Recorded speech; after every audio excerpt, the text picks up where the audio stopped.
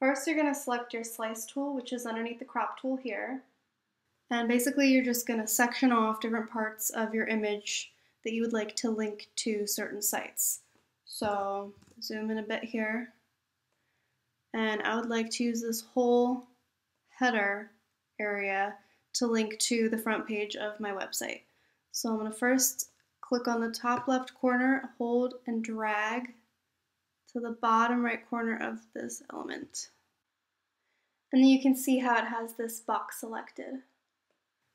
And then I'm just going to go through and do the same thing. So say maybe I want this little part to link to one page. And then I would like this part to link to a particular article on my website.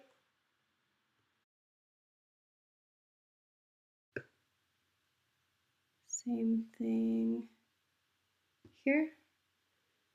And then maybe I want this little area to link to a certain category on my website. And same with these.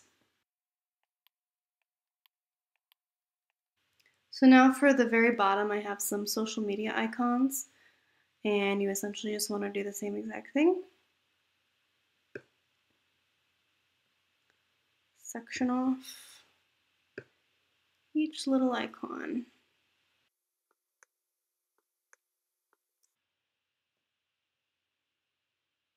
Okay, so now what you're going to do is you're going to go into each one and right click and click Edit Slice Options. Now you can just kind of name your elements.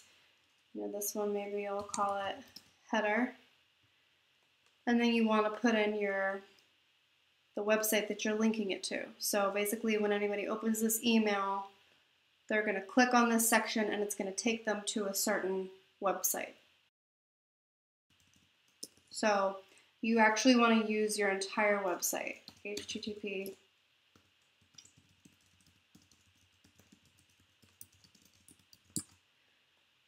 And then here for the target, I would like it to open in a new window. So I'm going to do underscore blank.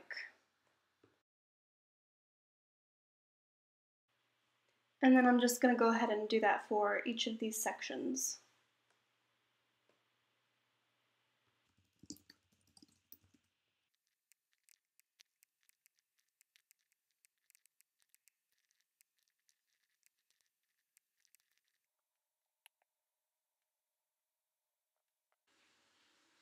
Okay, so now what you're going to do is change your image size to something slightly smaller so that it will load quicker in email.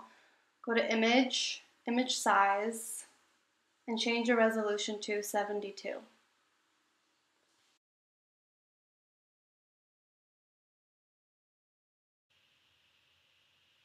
It's going to be much smaller, but it's a good thing. So now we're going to save it. So File, Export, Save for Web. And we want it as a PNG 24, transparency, and convert to sRGB. And then we're going to go to this little menu and click Edit Output Settings. And we're just going to change this to slices and leave all the rest. And then we're just gonna save.